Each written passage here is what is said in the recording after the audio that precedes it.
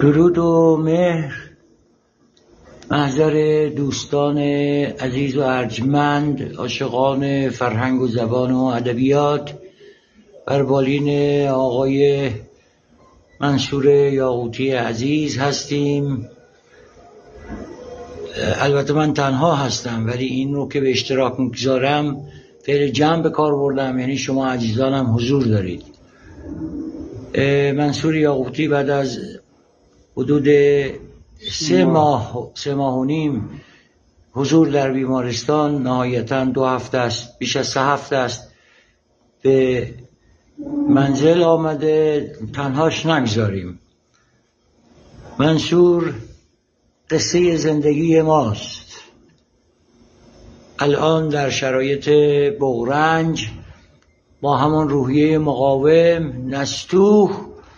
اما بدنی رنجور باز مقاوم و پایدار برای زندگی ورزش های آن که همانا خلق ادبیات و داستان و قصه آزادی و آزادگی است مبارزه می‌کنه. منصور با شما سلامی می‌گوید. منصور جان.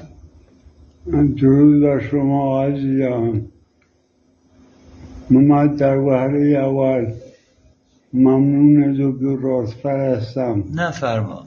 که این همه زحمت می‌کشه و همه عزیزان.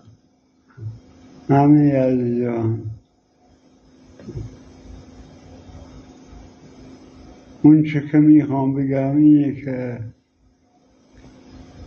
هر چه کمک کردید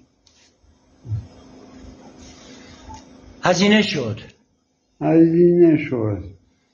بیمارستان امام رضا دارو پرستار پرستار خصوصی و و و اینها. بله. تشکر می‌کنه منصور واقعا. از این همدلی همراهی. الان هم برای شما آرزو سلامتی می‌کنه و امیدواره که تنهاش نگذارید. نذارید حتی با یک تلفن.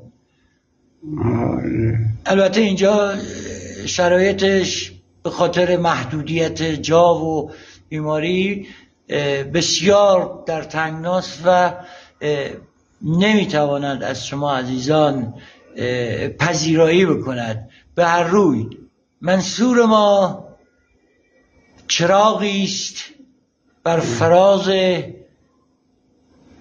کوه ادبیات نمادیان کوه. نگذارید این چراغ. پرت پرت کند و فروزندگیش را از دست بدهد. منصور جان خداحافظی می‌کنم. سپاس گذارم. از همه شما خدا خداحافظ. سپاس منصور جان.